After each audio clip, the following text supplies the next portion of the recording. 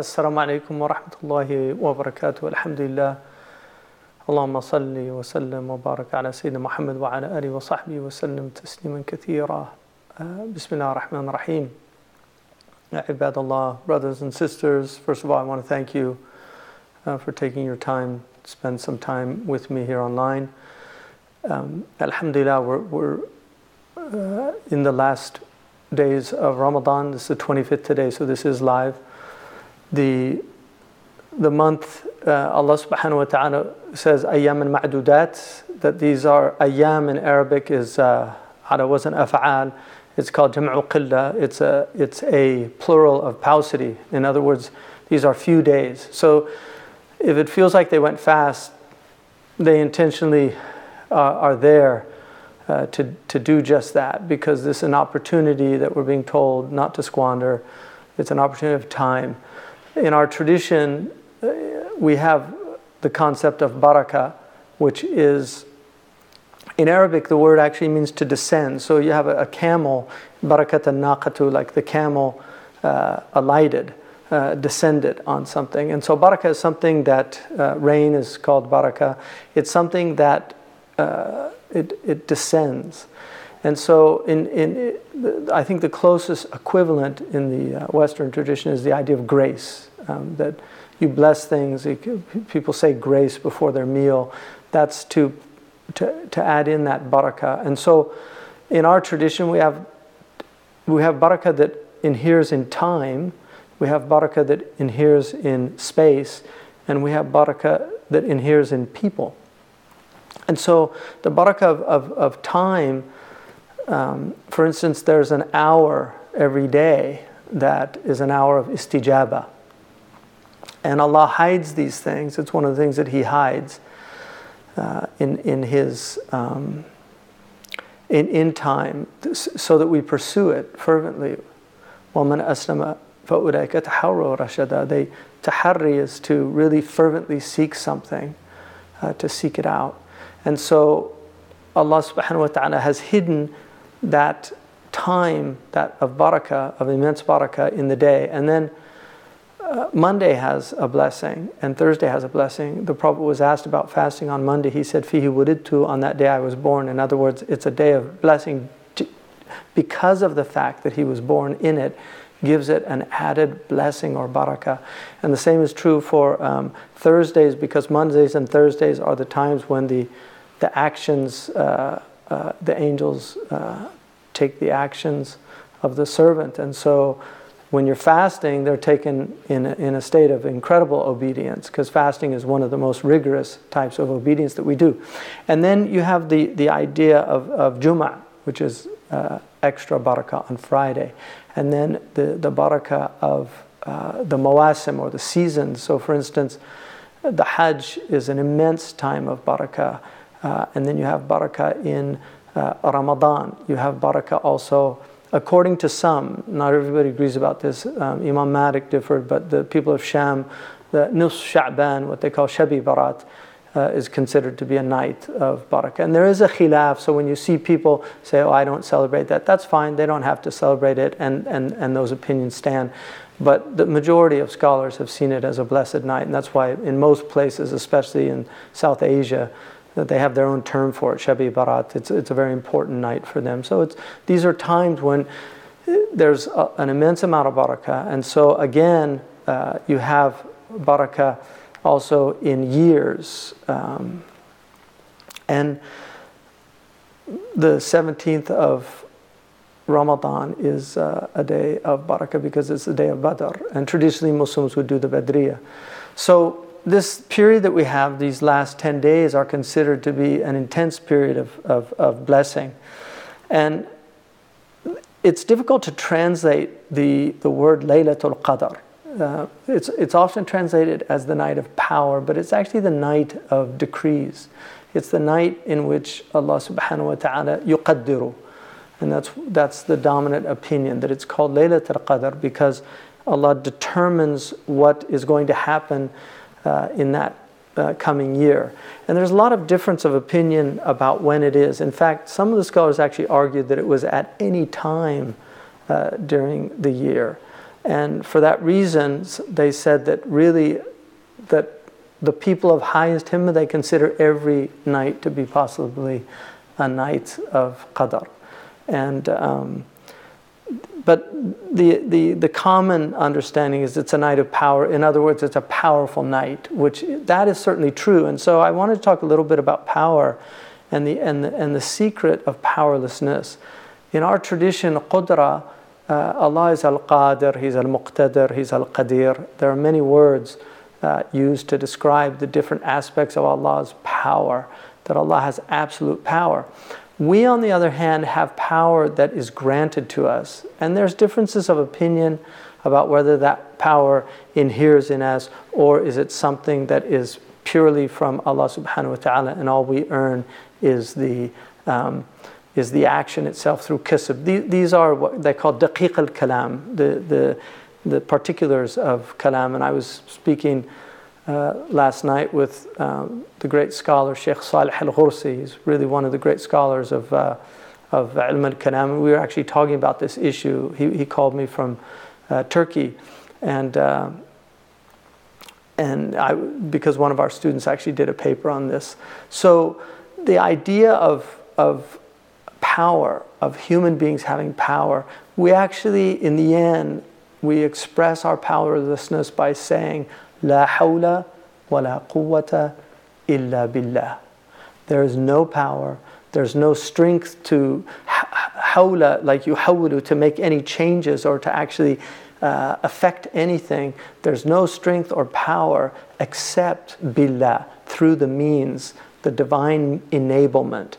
This is the istita'a that Imam al-Tahawi mentions in his book that he grants us. And so it's very important for us not to see power even in the world to see nations with power they there's actually they don't have power in reality. And the people that understand this are actually they're, they're, they're the freest people because they're, they're not afraid. They're not afraid of people that are in power. They're not afraid i mean obviously we behave with the asbab so we're not foolish people in that way. The, the Prophet said, Al mu'minu la yudhillu nafsa, that a believer should never humiliate himself. And so, uh, Sidi Ahmed Zarruq and others uh, mention that they should not ever put themselves in situations where they will be humiliated. And Ahmed Zarruq said, لا يتعرضوا للسلطان, that they don't oppose government uh, in a way that the government will in turn uh, humiliate them uh, put them in jail and do these things. He said that was a type of idlal uh, that, that, uh, that they did. Uh, and in fact, in the famous hadith about the highest shaheed, uh, which is the, the man who goes to unjust power and, and speaks the truth and is executed for it, Ahmed ibn Hanbal anhu, actually said that, um, that he shouldn't go knowingly that he's going to do that, that if that happens, that's a shahada but he shouldn't put himself in that type of position. These are, again, uh, khilaf issues, but, but the important point that I really want to drive home is that powerlessness is our state. It is the actual natural state of the servant of Allah. We are abd. And the, the thing about the abd, the, the abd is ajiz. He's, he or she is powerless. It's the abd and the amma that they are they only they do what they're told by their Mawla, which again doesn't mean that we don't do things, we choose things in the world, we do all these things, but we live with this alignment with the divine. In other words, we restrict ourselves to what Allah subhanahu wa ta'ala has permitted us to do. And in that way, we, in a sense, are handing over uh, that freedom. And in doing that, by, by, by entering into Islam, by entering into a state of submission, we actually become free. Uh, so there's a, an immense power in powerlessness and there's an immense freedom in powerlessness. And this is something that the early Muslims really understood well. They, they, they understood this in a very deep and powerful way. Um, the Prophet ﷺ, he said, طوبى لمن تواضع في غير منقصة. طوبى لمن تواضع في غير منقصة. Tuba, some of the uh, commentaries say that Tuba is a tree in paradise. There are many hadiths that use this term, tuba. It, it also can mean blessed are the people, but, but uh, some say it's actually a tree with immense shade and fruit in paradise that uh, that will be for the people who do these things. So he said, "Man tawada'a fi ghayri manqasa," who humbles him or herself without manqasa, without there's no deficiency in them. In other words, like a wealthy person that's humble despite his wealth, an intellectual, uh, highly educated person who's humble despite their education and their understanding. Th- that's what it means to be humble. And it's something that we have to struggle with. Uh, it, there, there's, there's, a, there's a type of tawadu, if you actually look at the, the, the morphological form of it, it actually has to do with like you actually do it with a knowledge that you need to be humble. Uh, because in the end, al-kibriya'u lillah, that, that magnin- the, the vastness, the greatness, the grandeur, uh, the glory and the majesty, all of these are attributes of Allah subhanahu wa ta'ala. They're not attributes of a servant. And so the servant should be humble before Allah subhanahu wa ta'ala. And this is why the Prophet ﷺ said, Man tawada' lillah, rafa'ahu Allah. Whoever is humble before Allah subhanahu wa ta'ala, Allah will elevate that person. And this is something that we have to learn as an ummah, that uh, in, in, in many ways, uh, we, we, we, we tend to forget this important metaphysical truth that Allah will, will elevate the people who are humble. الذين لا يريدون علوم علوا في الأرض ولا فسادا those who don't want to be exalted in the earth they don't want it لا يريدون علوا في الأرض ولا فسادا and that wow there indicates that these are two separate things they don't want to be elevated in the earth فرعون Allah says على في الأرض على فرعون he, he, he exalted himself he puffed himself up in the earth and so it's very important that Muslims should not want to be in those positions of power or authority, to be, no. In fact, the Prophet ﷺ said, whoever seeks positions of authority or power, uh, they should not be given them. There goes elections. So, so it's very important that we remember that Allah is the one that yumekkin, that He's the one that gives tamkeen, but He gives tamkeen with conditions. For the people he loves, he'll give tamkeen, الَّذِينَ مَكَّنَّهُمْ فِي الْأَرْضِ What do they do? أَقَامُوا الصَّلَاةِ You know, they, they establish prayer. They, they pay their zakat. They fulfill the obligations of being in that position. If they don't have that ability, if Allah loves them, He will not give them uh, he will not establish them in the earth. And so powerlessness is a, an incredible sunnah that I believe it's actually a sunnah mansiya. It's a forgotten sunnah of our Prophet ﷺ. He, before, even when he was forced into jihad, and, and it's very clear, Ibn Taymiyyah makes this clear, and many scholars, and if you haven't read Wang Ko's book, uh, Muhammad وسلم, the pro- a prophet of peace amidst a, a class of civilizations, it's an stunning book I mean, I, I, I recently read it and I actually had a, uh, a meeting with the author, and, and I was just so impressed with how he showed that clearly that the Prophet ﷺ not only was far from a warmonger, which we know, that he really was constantly looking for avenues of peace. The Prophet ﷺ always wanted to find an avenue of peace. In the 29 uh, battles, they're called battles, they're not battles. Ghazawat are military expeditions. They're not battles, but they're often translated as battle. It's a mistake. Because in those 29, there, there's again difference of opinion 27, 29, but in those 29 battles, fighting only occurred in 11. And in the greatest battle in terms of numbers, which was the Khandaq, less than 10 people died. And there were tens of thousands of people involved in that 3,000. On the Muslim side, 30,000. It was 10 to 1 numbers. despite that, less than 10 people died. And when I did a study of the number of people that died during the Prophet's lifetime, we're looking at less than 400 people. It's, it's quite stunning.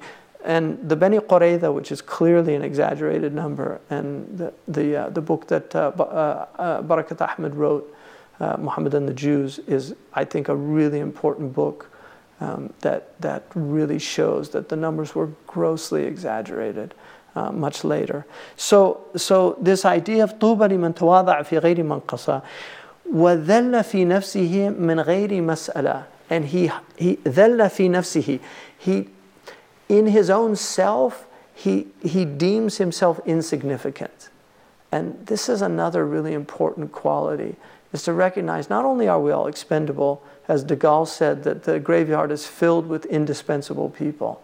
That, I mean, one of the things about life is that when you die, most people are just going to, oh, you know, if they knew you, they might say, oh, mashallah, inna lillahi wa inna ilayhi raji'un. If they were close, they might send condolences to the family and things. But the people that are really going to miss you are your direct loved ones. Those are the people that are going to miss you. Other people won't really miss you. The, the world goes on.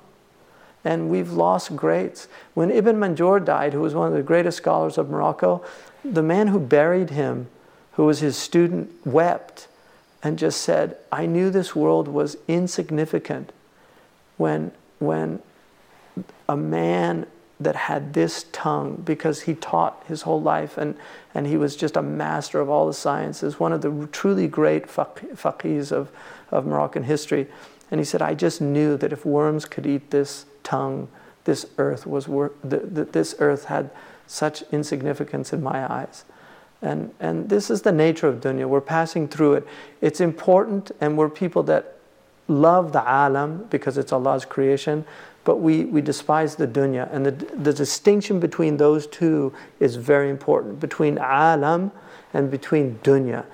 Alam is this incredible theophany, it's this, it's this amazing theater of enlightenment, it's this incredible manifestation of divine attributes. Uh, the actions of God, the af'al of God. It's stunning with, with its stars in the heavens, all of these galaxies, this extraordinary sky. Uh, the blueness uh, of the sky and its reflection in the ocean, uh, the wonders of the sea, the incredible uh, spectrum of flora and fauna on this planet. We're all now we're living in a time where we're discovering all these micronutrients and all these amazing foods from all over the world. These, these, that aspect of the world is something to just marvel at and to feel joy just about being in it. But the dunya is reputation. It's uh, you know, he said, she said. Uh, King Lear, there's a wonderful scene at the end of King Lear where he tells Cordelia, you know, about how we're going to be free now from who's in and who's out at the court. You know, we can live life now without having to worry about, uh, because he has a realization, an incredible realization in that play. This is part of dunya. As you get older, you will see more and more how empty and vacuous the life of this world is hayatud dunya. Mata'un, mata'ul ghurur. It's, the, it's a, delusion, a delusional pleasure. Mata'ul ghurur. That's all it is. It's a delusional pleasure. I've been with the poorest people on the planet, and I've been with the richest people on the planet. I've, I've seen the inside of palaces, and I've, I've lived in the huts of some of the poorest people on the planet. And uh, some of the most extraordinary people I've ever met are, are the poorest people that I've met. And um, so, I, you know, this is dunya. We, have, we, we just have to understand the nature of the abode and what it is. Uh, and, and, and so you have this sense of your own insignificance. One of my favorite stories of all the stories in the Sirah, which is in a Sahih collection also, Aisha, the beloved wife of the Prophet when she, when, when she was slandered so uh, horribly, when she found out about it, she, she, her hair fell out, she stopped eating, she, she went into a horrible uh, depression uh, for a period of time. And then, and then the revelation came. But she said, Kuntu nafsi. I, I, I deemed myself insignificant. She said, I knew Allah would absolve me of this, um, of this slander, but I just deem myself insignificant that any revelation would come. That, that's what this is about. وَذَلَّ فِي نَفْسِهِ مِنْ غَيْرِ مَسْأَلَةٍ Like beggars just by begging, you know, ذَلَّ فِي نَفْسِهِ But uh, it's saying without be, being in a state of need, you have this insignificant view of yourself.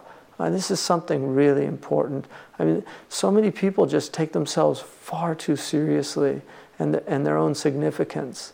And, um, and it just creates ego, it creates a sense of, um, of um, uh, just an inflated sense of self. And, and there's, uh, there's nothing worse than a puffed up soul. Um, I mean, one of the things in, in, in, in the Western tradition, they have this idea of kenosis, of the emptying out of the soul. And we have the idea of takhliya, it's the, it's the same concept. Takhliya, you empty your soul of yourself. I mean, there's a beautiful Egyptian expression for the Egyptians out there. There's a beautiful Egyptian expression that, that I, I thought about because I always thought it was so, such a strange way of the Egyptians, like in, in, in Mexico, you have idioms, like in, in, in Spanish, they say pongase mas trucha, you know, like watch out, which if you actually literally translate it, it seems strange. But in, in Egypt, when they say watch out, they say khalli balak min nafsik. Khalli balak min nafsik just means watch out. You know, khalli balak min nafsik, you know, watch out. But what it literally means is empty your mind of yourself. That's how you watch out.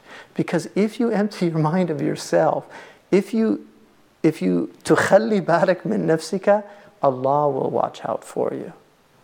Uh, it must have come from, uh, from some enlightened people in Egypt that just started that phrase because it's a beautiful phrase. Khalli balak min nafsik. Empty your mind of yourself. And one of the Moroccan, great Moroccan sages, Sidi Ali al Jamal, he said, ريح بالك وتعلم السباحة.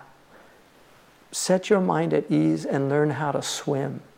Set your mind at ease and learn how to swim the world is in good hands. No matter what you see out there of trial and tribulation, it's all from what we, our own hands have wrought. All of it. There's nothing out there that we haven't caused ourselves. People say, Where is God? Somebody actually said to that, that to me recently, somebody from one of these countries is going through immense tribulation. They said, Where is God? And I just said, I think God's question to us is, Where are you? And, and that is a perfectly valid question from God. It's not a valid question from us. لا يسأل عما يفعل وهم يسألون. God is not asked about what he does, but they will be asked about what they do. And so that's a different way of looking at it. So just remembering that power is Allah's alone. Allahumma mal Allahumma malik al-mulk tu'ti al-mulka man tasha. O, o Allah, possessor of dominion. مالك الملك تؤتي الملك من تشاء you give dominion to whom you please you give it to whom you please وتنزع الملك ممن تشاء وتعز من تشاء وتذل من تشاء you dignify whom you please and you humiliate or abase whom you please this is this is uh, this is it uh, right this this is the reality so it's very important to remember that and then وأنفق مالا جمعه في غير معصية and they expend wealth that they have gathered or earned without any disobedience. إن الله طيب ولا يقبل إلا طيبا. Allah is pure and He only accepts pure things. ورحم الله أهل الذل والمسكنة. And God will have mercy on humble people and the poor people. Uh, Allah loves the poor, poor in spirit, uh, not necessarily poor in uh, in, um, in wealth because there are many good wealthy people, and we don't, uh, we don't have the tradition that wealth is somehow uh, evil or something to avoid. No, some of the people that, that had the highest maqams in our early Islam around the Prophet ﷺ were extremely wealthy people, but they used their wealth for good. And the Prophet ﷺ said, two people will never, uh, will never uh, go, uh, two people are envied.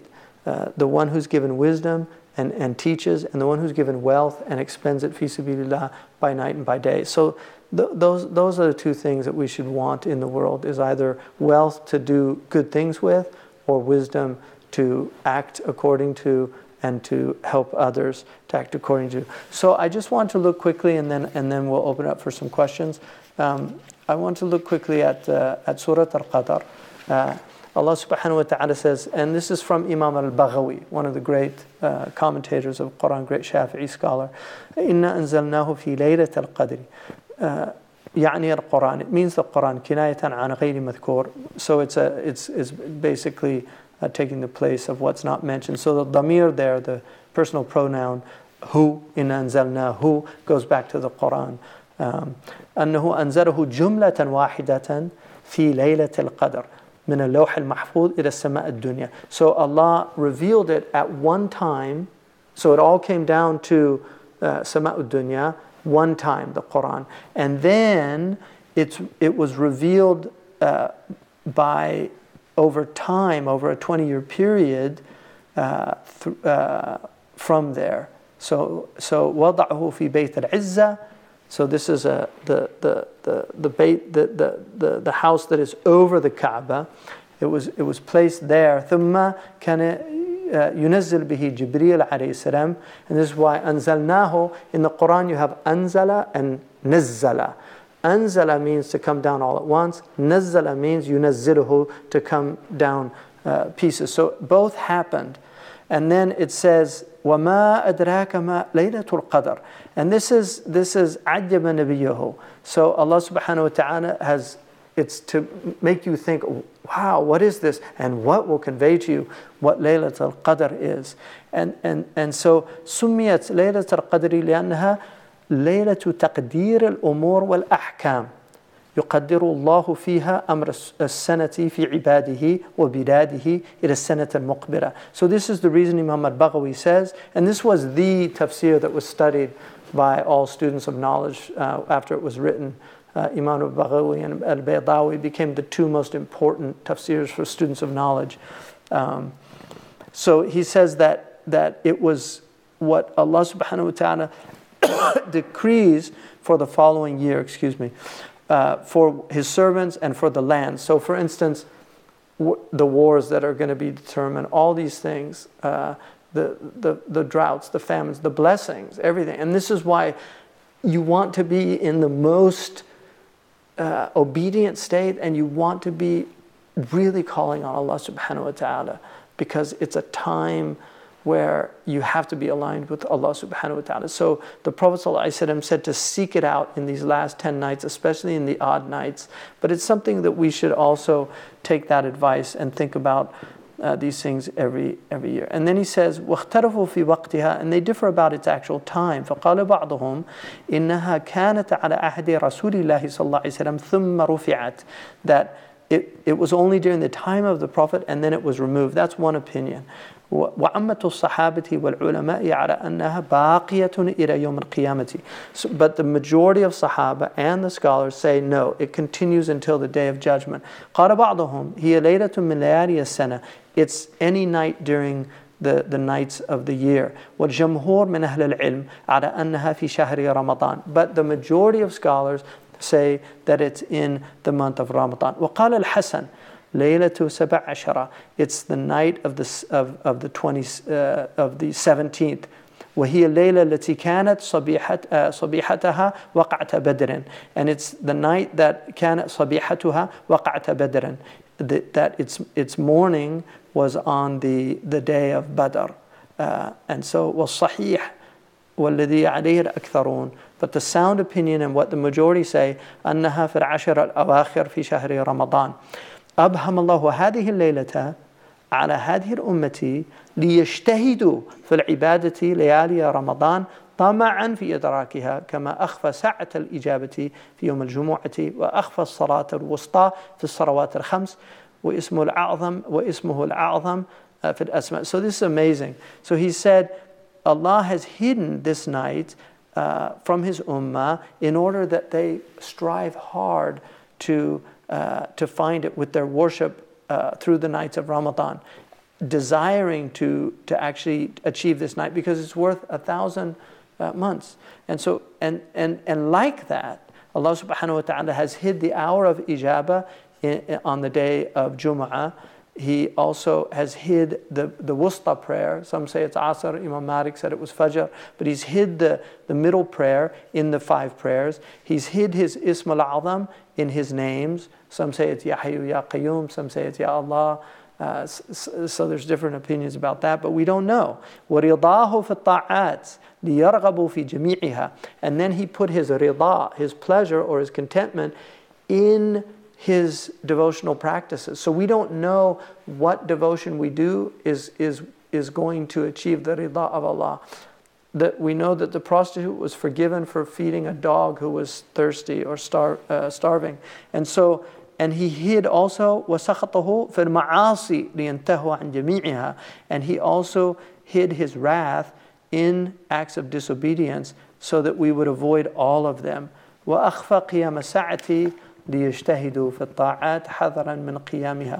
And then he also hid that the, the time of, of the, the last hour so that we would always be prepared for it. And then he says, ليلة القدر خير من ألف شهر معناه عمل صالح في ليلة القدر خير من عمل ألف شهر ليس فيها ليلة القدر. So it's worth the actions of your worship on that on this night are worth a thousand months. Uh, and then Allah subhanahu wa ta'ala says, تنزل الملائكة والروح so the angels come down and the ruh, the Holy Spirit, we know uh, uh, in our tradition, the Holy Spirit is not a persona of God, uh, as some Christians believe, but the Holy Spirit is Jibreel alayhi salam. He's called Ruh al-Qudus, the Holy Spirit. And the Prophet believed in the Holy Spirit and uh, he said to Hassan ibn Thabit, Ayyadak Allah bi Ruh al-Qudus, may the Holy Spirit uh, give you um, succor or uh, help. So, uh, so the, the, it's a time when the Holy Spirit comes down. أي بكل أمر من الخير والبركة. So, بإذن ربهم من, من كل أمر. In other words, of khair and barakah. So, يحفظون من أمر الله أي بأمر الله. سلام Atta said, يُرِيدُ salama ala awliya اللَّهِ wa طَاعَتِهِ. One of the things in, in, uh, in if, you know, if you have uh, Christian friends and they might send you a holiday card and they, and they quote a, a, a verse from the Bible that says, you know, uh, uh peace on earth and goodwill towards men. Uh, it, it, actually doesn't say that. If you look at the in the, in the Greek, it says goodwill towards righteous men, um, and and this is something also uh, in the Tao Te Ching, uh, it says uh, all men hate arms, you know, like violence. Uh, Thomas Cleary told me it actually doesn't say that in Chinese. It says good men. Good men don't like that. So one of the things that we have to remember is that there are shayateen al-ins out there. There's just there's there's so the salam is not for everybody. It's for the people of, of obedience to Allah subhanahu wa ta'ala. They're the ones that get the peace. قال الشعبي وتسلم الملائكة ليلة القدر على أهل المساجد. Uh, Imam uh, Sha'bi said that it was that the angels are greeting the people in the masjids on Laylatul Qadr, which is why everybody goes. من حين تغيب الشمس إلى أن يطلع الفجر. From the time the sun goes uh, disappears until Fajr appears. قال الكلبي الملائكة ينزلون فيها كلما لقوا مؤمنا أو مؤمنة سلموا عليه من ربه حتى يطلع الفجر. وقيل تم الكلام عند قوله بإذن ربهم من كل أمر. So he said that that the angels greet every believer, man and woman, on that day. That's what Imam al-Kalbi said. Now, in the, in the, in the actual verse, it says, هي حتى مطلع الفجر. And in, in Arabic, hatta has three different meanings, but, but uh, in Arabic, it's usually what's called a, a preposition, a harf jar, that what follows it is majrur. Uh, but it can also be a type of uh, dharf. So, so in, if it goes like هي حتى مطلع الفجر and it's mansub, then it means including uh, Fajr.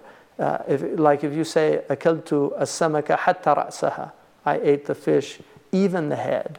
Whereas if you said, أكلت السمك حتى siha," then it's up to, to that point. And so here, it stops at that point. So the night is the night. And once the day comes, once the day breaks, then the, the night of power is over. Even though that day, uh, according to the ulama, is a good day to also have ijtihad. Uh, and Mujahid said, يعني أن ليلة القدر سالمة لا يستطيع الشيطان أن يعمل فيها سوءا ولا أن يحدث فيها يحدث أن يحدث فيها أذى. So it's the time when shaitan can't do any su and nor can he cause any harm.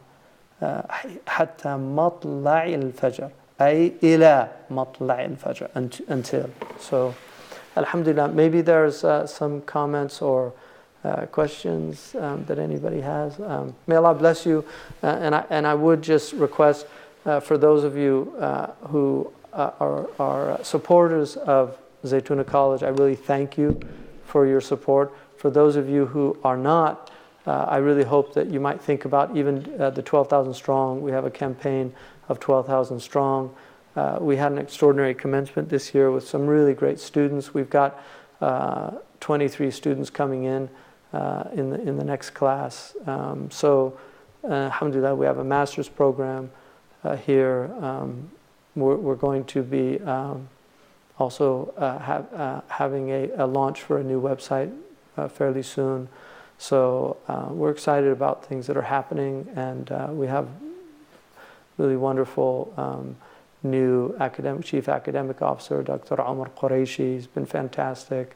Uh, we have really a lot of really sincere and hardworking people. And um, so we really uh, hope that you'll uh, consider supporting us and uh, so we can uh, do more for this community and for our ummah. The, the ummah's fallen on hard times, but inshallah, there are good times, there are times, and there's always blessings in the midst of all the tribulations. Thank you for that, Sheikh Hamza. May Allah reward you. Ameen. And inshallah, I will ask a few questions from online. Alhamdulillah, we have a lot of people commenting prayers for yourself, your family, and Zaytuna. Thank you. And the work we're doing. And thanks for your Ramadan Rumination series. And the first question we have from Facebook is from Yasmina, who asks, What is the best way to counter our nafs? It's a big question. Mukhalafat al nafs. You have four enemies in this life and only four uh, nafs, shaitan, hawa, and dunya. All the other enemies, uh, you, if Allah sends them to you, it's a tribulation, but your real enemies are these four. And if, if you can conquer these four enemies, all the other enemies are very uh, insignificant. But the nafs is the number one. Uh, the Prophet said the, the most uh, vicious enemy that you have, the most harmful enemy that you have, the most aggressive enemy that you have is your own ego between your two sides. And we all have them, we're, we're, we're born with them. Children, children have wonderful, beautiful side, but then they've got that uh, horrible, childish, selfish side. It's mine. You know, when they grab a toy, it's mine. So this, this is something that as you grow older, hopefully you, you learn to overcome that. But there are many people that behave like infants uh, throughout their whole lives. So, one of the most important things that we can do is the dhikr of Allah subhanahu wa ta'ala. Uh, just to remember Allah, to work on ourselves. We have to work on ourselves. I mean, uh, we all struggle. I struggle with myself. We have to work on ourselves. We, we can always do better. Um, I, was, I was today, just today, I was in a, uh, you know, I had a, a meeting with some people that came. They were nice people, you know, and and I was I just really because I was really busy with something else and I had some problems. I just I I didn't I felt like you know I really wasn't. Uh, I was rude basically to somebody, and I, and I immediately like after the meeting I went up to her and I just said I want you to please. I apologize. You know, I, I, I don't think I, I listened to you attentively.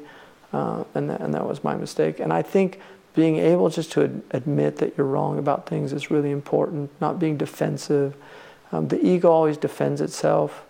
Um, in fact, one of the most extraordinary scholars, uh, Ibrahim al-Laqani, is an amazing man. If you study his life, you just marvel. Um, he actually wrote the Jawhara in one night. And when he finished it, he went to his sheikh and he gave it to him. And his sheikh knew what it meant, like he had had a, a opening, because it's a stunning uh, poem, um, 144 lines of just crisp uh, uh, uh, creed. And he, he took an oath with him. He said, From this day forward, I never want you to defend yourself. And that's a, that's a powerful practice of just not defending yourself. We have an amazing story of Abu Bakr as Siddiq, radiallahu anhu, when a man was really abusing him in front of the Prophet and the Prophet was there listening and, and, and, and smiling. And then Abu Bakr just couldn't take it anymore. So now his nafs came in, and even Abu Bakr had uh, a nafs. I mean, it's the purest of all nafs after our Prophet ﷺ in, in, in his ummah. But he, he, he couldn't take it anymore. He started defending himself. The Prophet left. When he saw him later, he asked him why he left. He said, That man was, it wasn't true what he was saying. He said, I saw the, the angels defending you. And right when you began to defend yourself, Shaitan came into the room, and I don't sit with Shaitan. I mean, that, that is just such a stunning testimony to the power of fighting the ego. Um, so, what I, what, I, what I would suggest f- first and foremost is that, that you, you, you begin to do a type of muhasaba. And we actually, Imam Zaid and I worked on something together um, called the Agenda for Changing Our Condition. And it's actually a, a program to work on the self where you, you do a musharata, uh, you know, and then muraqaba, and then muhasaba, and then mu'aqaba. So you do, you, you, you actually commit, like, I'm not going to backbite, and you commit to doing it for 40 days. 40 days straight because it takes 40 days to really yeah the, the Allah subhanahu wa ta'ala gave arba'ina layla. Like he gave 40 to, to prepare for the meeting. He gave Moses 40 nights to prepare. And so 40 this is why in Jama'at Tabligh they go out for 40 days. There's a big secret in the number 40 and so uh, you do 40 days of not, I'm not going to backbite for 40 days. And if you do, you have to do muhasab at the end of the day, and then you start over if you didn't do it. And then you do a mu'aqaba. You, you have to punish yourself. Ibn Wahbin said, I made many oaths to give up um, backbiting, and I ended up fasting a lot because he would break the oath, he'd do another, and then he'd have to fast. And he said, So I decided that I would give a dinar in charity every time I, I spoke ill of someone. And he said, because of my love for money, I was able to finally give up. Because um, he, he, he made that his oath instead of fasting, breaking his oath. So um, I think that's something that you can practice, is just working on things. One of the things most of us in, in an insana, uh, you know, على نفسه بصير. The human being knows his own soul. ولو ألقى معذرة even if he gives his excuses, he knows his own soul. And so I think most of us know what's wrong. It's very good to ask people. I mean, I, I always get shocked sometimes. I'll ask, um, do I do this or do I do that? And I say, yes, you do. You know, that, that's an ouch, but it's something that you have to, uh, to take reflection from other people. So that, that's important. And then the, the best thing, uh, and this, this is absolutely well established is prayer on the Prophet. If you make it a consistent practice, uh, you, your soul will, will align. And, and this is something witnessed by many, many people. So, people that do consistent practice of uh, prayer on the Prophet, uh, that, that it has an effect on the heart and they really begin to behave uh, in a much better way. But each of us have our trials and tribulations. Uh, it's also useful to know what's, what's called the temporal, uh, the humoral theory. So if, you, if, and this is something Imam al-Ghazali said that you really shouldn't be a teacher unless you've studied this. Um, so you should know, uh, it's similar to the Briggs-Meyer type uh, uh, personality test. Um, so it's, very, it's actually very similar. And Jung also came up with, with a similar model. But the humoral theory is what the Muslims used. It was developed by, uh, it, it, originally comes from uh, Hippocrates and then Galen, but the one who developed it uh, extensively was uh, Ibn Sina, the physician. So you, knowing what humor you have is really important. Are you phlegmatic? Are you choleric? Are you sanguine? Are you melancholic? So this is Damawi, Balagami, Saudawi, Safrawi. Knowing those uh, and then there are also mixtures of two. Like my my my my baseline is damawi, but my uh, my layered on is safrawi. A lot of people that are uh, uh, that like reading and studying and scholarly by nature tend to be safrawi, and safrawi is is a tough disposition. People that are melancholic safrawi have a really hard time. So it just depends on what God's given you people that are sanguine tend to be very cheery, but each one of them comes with their shortcomings and their blessings. So knowing that can help because um, if there's a there's an interesting book called The Temperament God Gave You, uh, which uh, it's a Catholic book, but it really it has a test. You can take the test. It'll really help you to see what things you, you you're naturally going to need to work on. And and I, I swear by the the temperament uh, tradition. I really believe it's very accurate. Thank you for that. We'll take a question from our live stream channel. Could you ask Sheikh Hamza if someone doesn't understand the Quran recitation during Taraweeh, but rather spends that time studying the Quran, is there a similar reward? That, that's a really good question. Um, first of all, I want to say something uh, about Taraweeh. Traditionally, in most Muslim countries, Taraweeh was actually done uh, relatively short. Uh, doing a khatam in Taraweeh was not the tradition in, in most places. There were certain mosques that did khatam for people that wanted to. Unfortunately, now, like if you go to Turkey, most of the mosques do very short, 20 short rakats. And I really think that we need to revive this sunnah because a lot more people would come for Taraweeh. A lot of people leave after 8.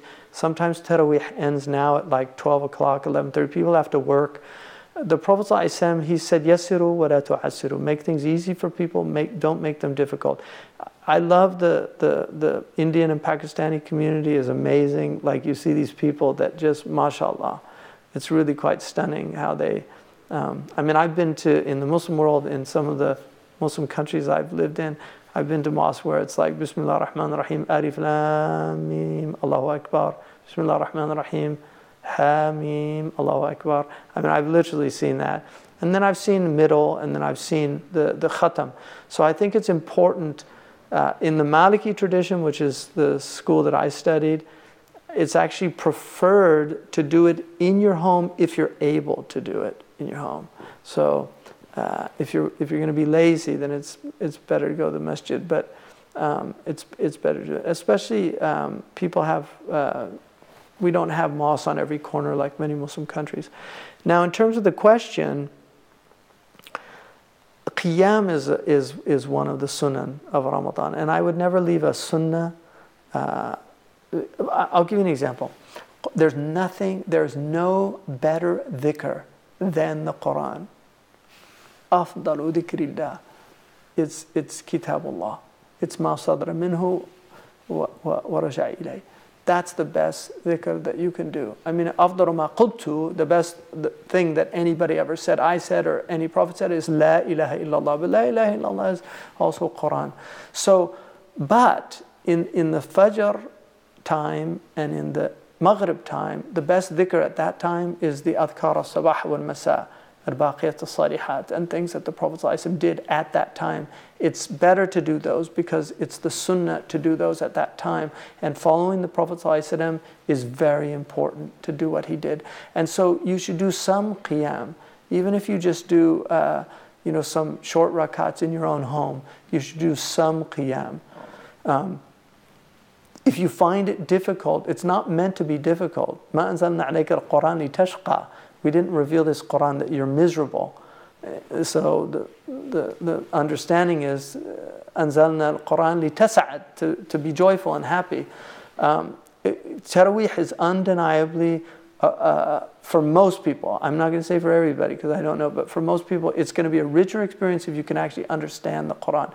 It's even better if you memorize. So the parts that some, if, if you memorize certain parts and you hear them recited, it's much more because you can really follow them. So I think that definitely has a, an, an, aspect. But I would say study the Quran in Ramadan, but also do Qiyam. Um, even, even if you can't do the 20 rakats, if it's difficult for you, just do some short rakats in your own home, but do some Qiyam. Barakallahu fik. We have a somewhat related question from Facebook. For an ill person who couldn't fast during this Ramadan, what is the right practice to adopt?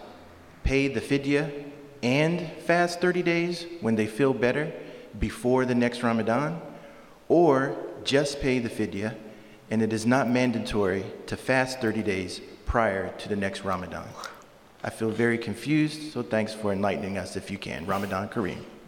If, if, you, if, you, if you can fast later in the year, you have to fast. The fidya is for people that can't fast. So you might be uh, pregnant or nursing or something like that's going to harm you, but when you're able to, you make up the fast. Uh, fidya is for like old people or people that have diabetes or people that their, their physicians told them they can't fast. I know of somebody who was, went into pretty serious um, tachycardia because of fasting. That type person, and, and it's, it's happened in more than one Ramadan, that person should not fast. And the doctor will tell them that. And if the doctor tells you not to fast, if, if, it, if, it's, if, if, it's a valid doctor with an MD and they're telling you it is medically dangerous for you to fast, you should not fast. The other thing, and, and this is my firm conviction, little children should not fast. I know there's a khilaf about this. Imam Malik anhu said that it was ta'deeb, that it was actually torture for children. I know there's little children that want to fast because they see everybody fasting. If, if they're going to do that, you should only do like half day. but they should, their, their brains are developing, they need glucose, they need uh, energy. They need caloric energy. It's not health. It's healthy for us to actually fast. It's not healthy for them to fast when they're young. And I know there's hadiths in the Sahih collection things, but that was not the practice of the people of Medina. Um, and Malik had 600 uh, teachers from the Tabi'een, and that was his opinion. It's a strong opinion, and I think, as somebody who studied, um, uh, who has some medical background, uh, and I think if you ask most doctors, they would tell you the science is in, and it's not good for children to fast long periods of time.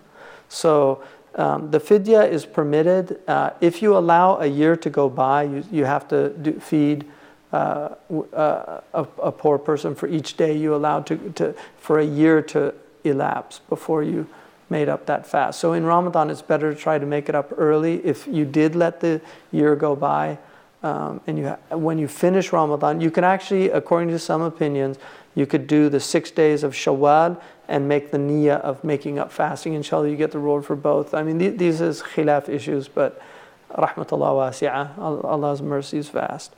So um, that I think that that answers that question, inshallah. Barakallah fik. Okay, we'll just take a Couple more questions. And wrap it up if you don't mind. Okay, good question here. Um, may Allah reward you for this talk and your Ramadan ruminations. Any general advice about the role the Quran should play in our lives? Bismillah ar-Rahman ar-Rahim.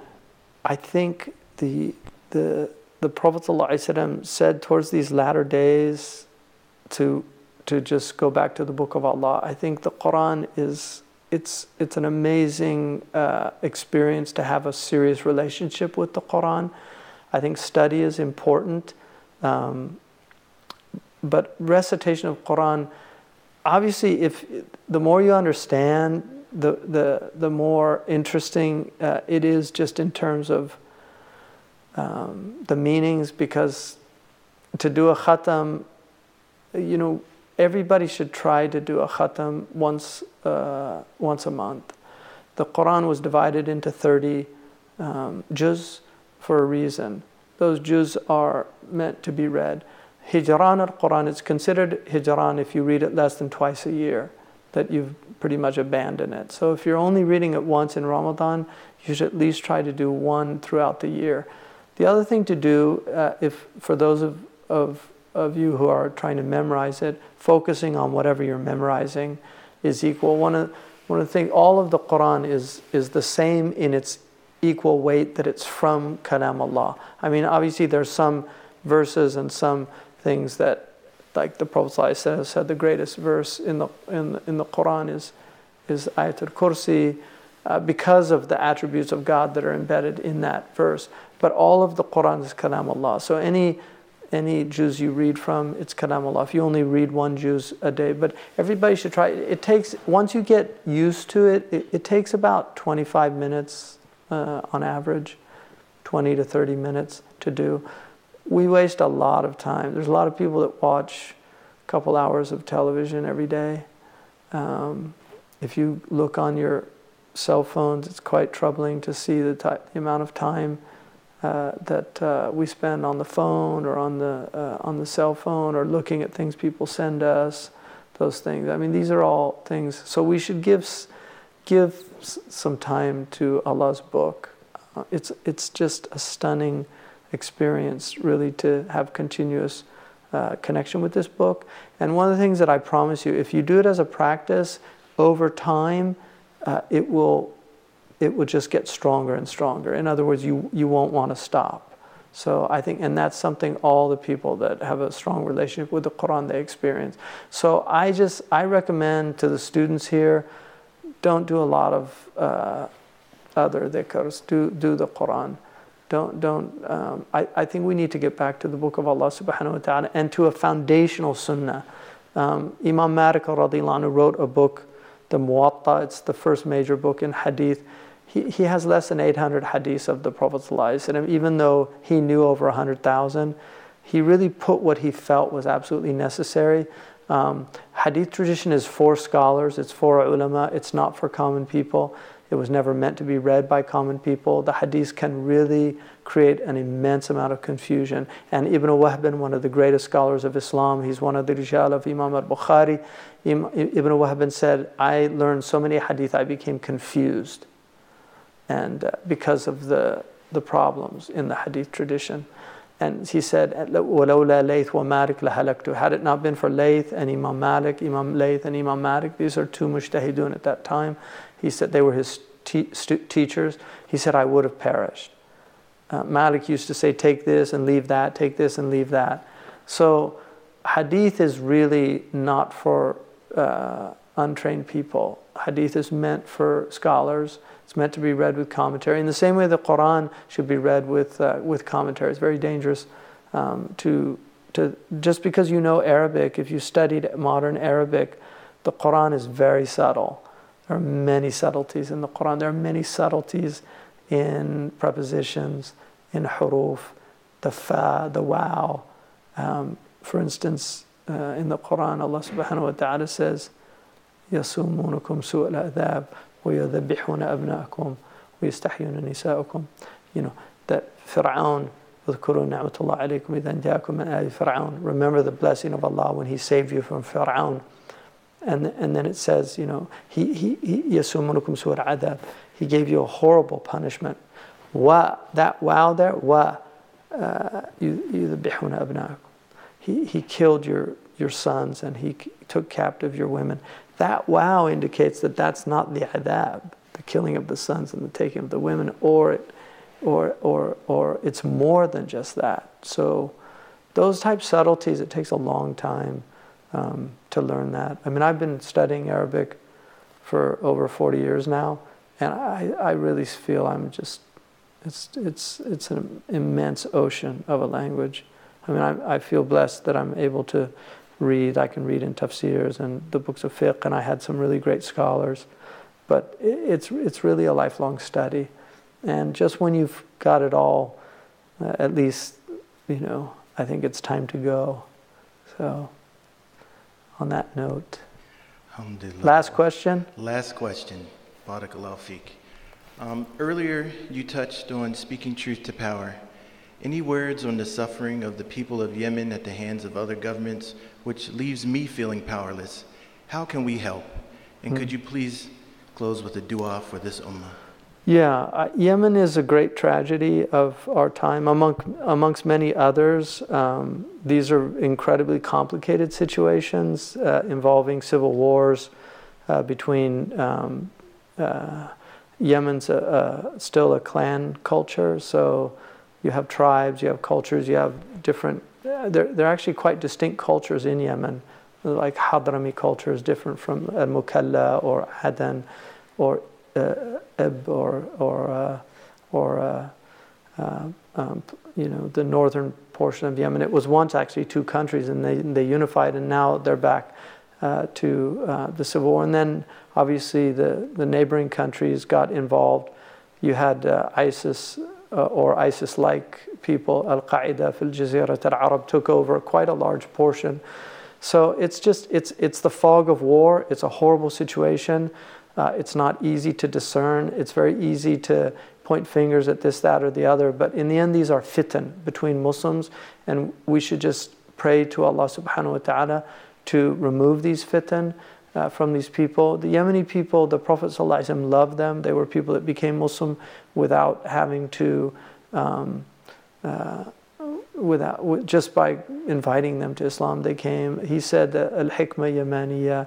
He said al iman yamani.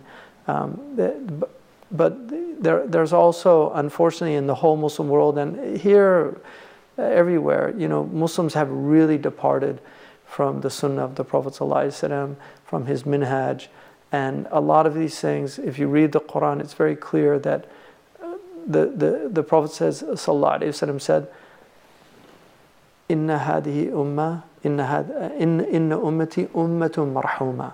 My ummah has, it's a ummah of God's mercy. And then he said, Ju'ila adabuha fi dunyaha. The punishment of my ummah is in this dunya. So we also have to recognize that when people divert and go far astray, from the sunnah of the Prophet ﷺ and from the guidance that was given to us, and the, the, the, the sinfulness becomes widespread and open, um, that tribulations will afflict us. And in some ways, the places where these tribulations are the worst are the places where those people are closer to Allah subhanahu wa ta'ala. In other words, uh, that إِذَا أَحَبَّ اللَّهُ قَوْمًا ابْتَلَاهُم When Allah loves a people, He gives them tribulation to elevate them or to remove their sins. And so we, we, we, should pray for our brothers and sisters, uh, do what we can. There's good uh, organizations that try to help. But right now, this is it's the fog of war. We're in the midst of just a very tragic period for our ummah. Uh, we should do our best to pray. We counsel the people that have the power to, to do what they can. Um, I think the kind of belligerent attitude and what's happening, even for people that, you know, and I have, I have my own criticisms of uh, things in, in that region, but I would honestly say, you know, we should be praying for these people. We should not, this type of hatred that people have for um, these governments and things like that, we should be praying for them. Um, you know, it's, it's what comes without government is actually much worse than what, what, whatever tribulations governments bring. When you remove these governments, when you have anarchy, this is the result of anarchy. We should be praying for these governments. Our Prophet ﷺ was somebody that he, he didn't, he, he didn't um, disrupt social systems. When he came into Mecca, إن الملوك إذا دخلوا قرية أفسدوها وجعلوا عزة أهلها أذلاء. The, the kings, you know, tyrants and king, when they come into places, they create these uh, horrible situations. But the muslihun, the people of Allah subhanahu wa ta'ala, the prophets, they don't do that the Prophet ﷺ, when he came into Mecca, he said, Man dakhala bayta Abi Sufyan kana amina. Whoever enters the house of Abu Sufyan will be safe. He took the Sayyid of, of the Quraysh, who had fought him for 20 years, and, and, he, and he maintained his dignity and honor because he wanted to win his enemies over. He, he, he wanted to win them over. Um, when he wrote to the Romans, ila alim Rome, to the great one of, of Rome, aslam Teslam, submit and, and find peace.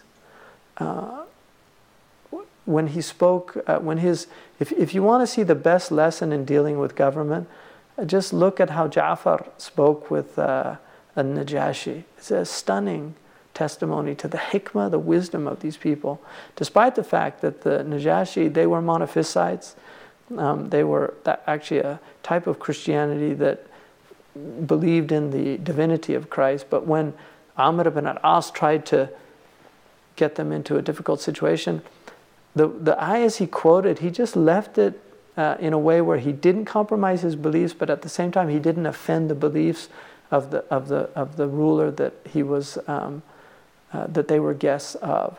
And so, just getting back to this wisdom and trying to, you know, just everybody uh, is going to be judged by God. We're all going to be judged by God. Um, these rulers are going to be judged by God, and I, I don't envy any of them. Um, most of them don't sleep well. Uh, the type of burdens that they have, people think that Gaddafi changed palaces every night.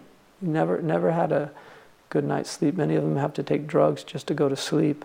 Um, so it's not something that you should envy or, and, and, and we should just really pray for them. Our, our tradition, Imam Tahawi says, لا ندعو عليهم. We don't imprecate against rulers. Um, we, we should pray for them. There's a lot of people that don't believe that anymore because we have a kind of re- revolutionary Islam that wants to tear everything down as opposed to just recognizing we have to work with what we have and, and try to make it better. Um, so, but uh, you know, everybody's doing their ijtihad, and uh, Yom Qiyam is going to be a good day. We're all going to see who's who on that day. We'll see who's who. Uh, it's better, I think, to wait. تربصوا فإني معكم من المتربصين. Wait, and I'll wait too with you, and we will see. عما يتساءلون عن النبأ العظيم. So, يوم يقوم الناس لرب العالمين. We're all going to have to stand before God and be taken into account for our actions and for our lives. So, may Allah bless all of you, bless your Ramadan, increase you, elevate you. May He forgive uh, us our transgressions, forgive our shortcomings. May He, uh, may Allah subhanahu wa ta'ala, inshallah, uh, accept whatever prayers we've been able to put forward extra in this Ramadan, accept our recitation of Quran. May Allah subhanahu wa ta'ala, inshallah, give us uh, visions of our Prophet in our dreams, and may, may, he, uh, may He make our Prophet pleased with us when he sees us at the Hawd, inshallah. May he give us ease in our lives and ease. If there's anybody sick or depressed, may Allah subhanahu wa ta'ala remove your sickness or your depression. May Allah subhanahu wa ta'ala increase you, elevate you. May Allah subhanahu wa ta'ala uh, forgive any of your transgressions. May Allah subhanahu wa ta'ala make this book of, of, of Allah the spring of our hearts. May, may, may Allah subhanahu wa ta'ala make this book uh, something that we love and recite constantly and act accordingly uh, to may Allah subhanahu wa ta'ala inshallah uh, uh, give right guidance to the people in power wherever they are. May, may He may He just we ask you Ya Allah to أنت السلام وتحب السلام منك السلام وإليك يعود السلام حينا ربنا بالسلام تبارك وتعالى يا ذا الجلال والإكرام your peace and you love peace and and and so bring peace to, to places where there's war uh, bring love to the places where there's hatred uh, bring unity to, to the places where there's division. Make us people of unity always. And we ask you to bless this Ramadan, inshallah, and, and, and, and give us the blessing of Laylat al Qadr. And, and, and, and inshallah, may you make uh, um, us see many Ramadans before we leave this world, uh, going back to you in a pleasing state. Ya Arham ar Rahimeen. وصلى الله على سيدنا محمد وعلى آله وصحبه وسلم تسليما كثيرا سبحان ربك رب العزة عما يصفون وسلام على المرسلين الحمد لله رب العالمين. سبحانك اللهم وبحمدك أشهد أن لا إله إلا أنت أستغفرك وأتوب إليك. آمين. جزاكم الله خيرا والسلام عليكم ورحمة الله وبركاته.